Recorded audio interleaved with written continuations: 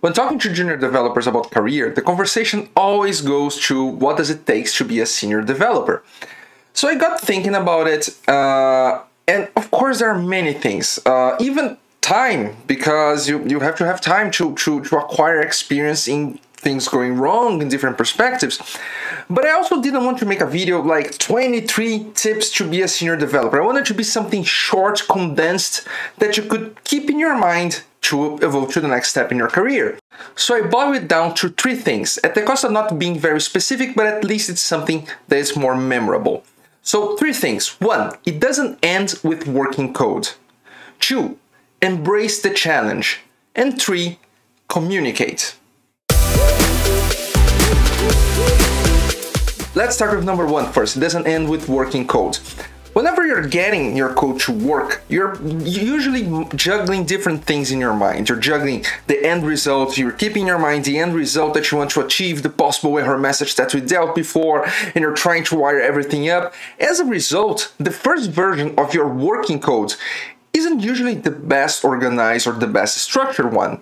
Some people think that senior developers don't do messy code. They do, but they clean up after. That's the thing. You shouldn't stop working when you have a working version of your code. You can stop, commit that, of course, but then you have to take the time to tidy up and organize that code. And of course, there are whole books written in the subject. Uh, I couldn't possibly be very, very uh, uh, detailed here, but I'll give you two hints, uh, two questions to, to ask yourself. First question Is this code readable?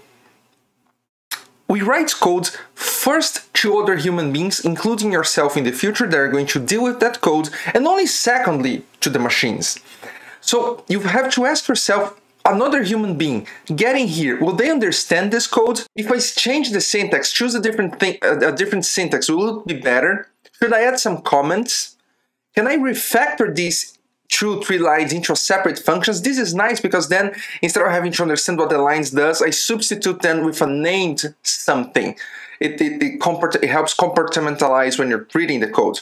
So think yourself those questions and, and act upon it. And the second question is, should this code be here?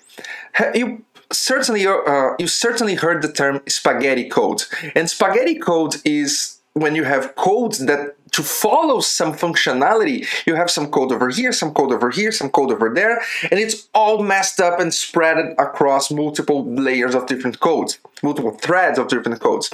So ask yourself, especially in, in the React world, should this be in this component or in the store, whatever uh, code, uh, uh, whatever state management, management solution you're using, whatever effect uh, uh, management situation you have. So ask yourself, is the component getting too big? Should I refactor it into smaller components? So move things around. I have a friend that works at, at Code Sandbox, and people would say that work with him was like you go to the bathroom, and when you go back, things are completely renamed and moved elsewhere.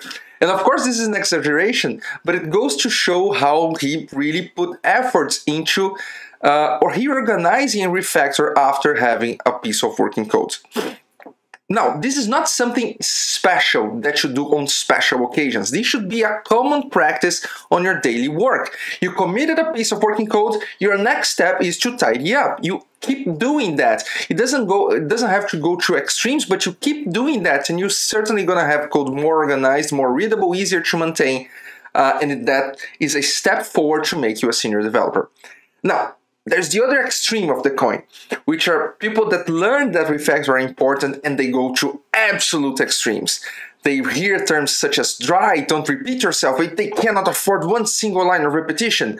Uh, and when you do things like that, you're not making your code easier to understand. You're making your code more bureaucratic. And that's not, that's not necessarily a good thing.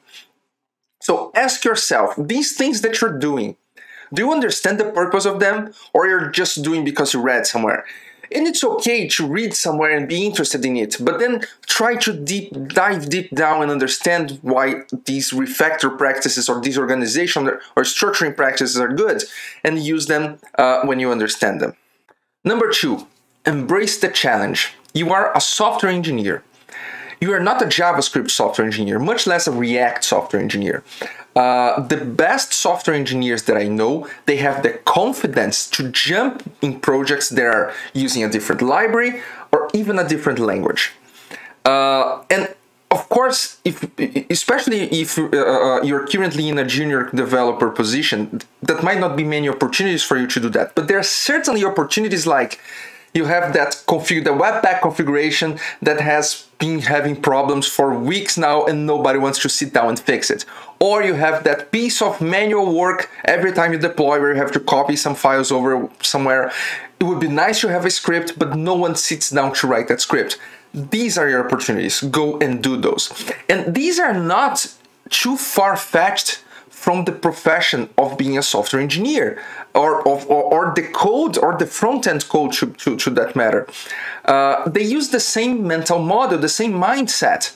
Of course, uh, if we're going to, to change our Webpack configuration, of course it will involve or do any of these things that I mentioned. It will involve having to learn, uh, it will involve some try and error, it will involve some frustration. If it's Webpack configuration, it might involve going to the bathroom and crying out a little bit.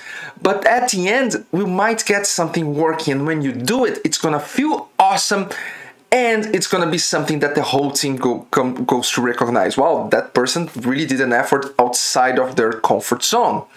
And here's the even more interesting trick.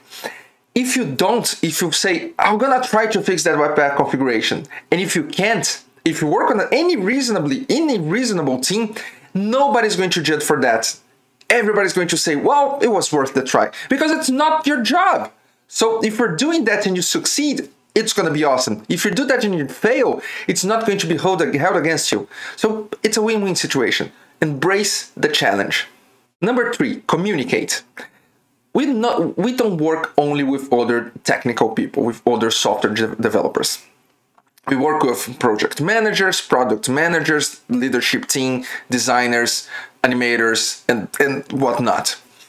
Uh, and one of the biggest challenges for uh, non technical people is understanding what's going on in the development world, understanding that black box that you talk to these people and sometime later something goes out working or not.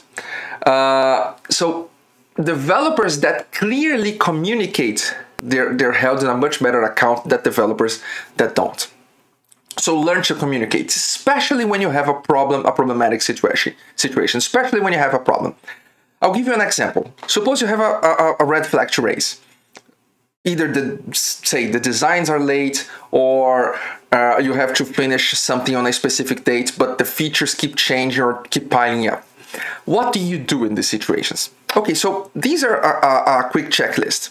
First, you're gonna talk to someone, either your manager or the leadership team or whoever is, without complaining and without passion. You're gonna sit down first and think about how you explain the problem in the more specific way possible without sounding like you're complaining. And second, and most important, you're going to suggest an alternative. So say the features keep piling up, but you have a hard date to, to, to finalize. Or even better, state that you gave a date for some feature, but you failed. You gave a wrong date. It, it, is, it is your fault. In any of those situations, what I would do is I would sit down and explain. The features keep piling up, or I have we said we agreed that this was the date, but I didn't consider A, B, and C, and I'm not going to be able to, or we as a team are not going to be able to deliver on that date. Here's a suggestion. Could we, for example, phase it out? I implement all of these most important features and we leave these special cases and these, these specializations and these more hidden features to a second releases two weeks later. The important thing about suggesting an alternative uh, uh, is not that people you want people to take on your suggestion if they take that's awesome but the most important thing about suggesting a solution is that you put yourself in a situation where you're actively trying to help uh, and people are much more willing to work with you and discuss with you and, and, and, and have you as a partner in trying to solve the situation if you put yourself in that situation. So I hope you enjoyed this video. We didn't talk about React at all, but we talked about something important in our profession. And yes, I hope you enjoyed my new office and see you on the next one.